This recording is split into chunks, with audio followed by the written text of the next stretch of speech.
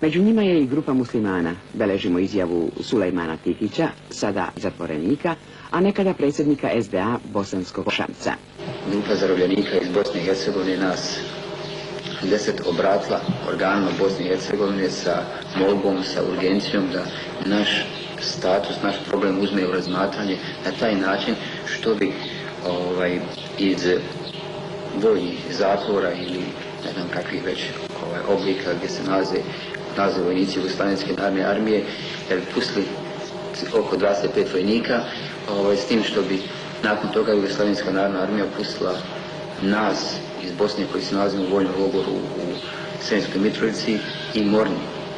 Ja sam lično poslao i pismo ovaj, i kao predsjednik stranke, poslao sam pismo i predsjedniku Ali Izetbegoviću kao predsjedniku SDA ovaj, Bosne i Hercegovine i ovom prilikom još jednom apelujem i molim da se riješi kako naš problem, tako i problem tih vojnika. Jer i ti vojnici kao i mi svi, svi mi imamo svoje i ovaj, roditelje, svoje djecu, braća, sestre i, i, i svi čekaju da izađemo iz ovoga zarobljeništva. Sigurno da ni njima ni nama nije ovdje lako, a mislim uz, uz, da ne bi trebalo da bude problema da se ta radina izvrši.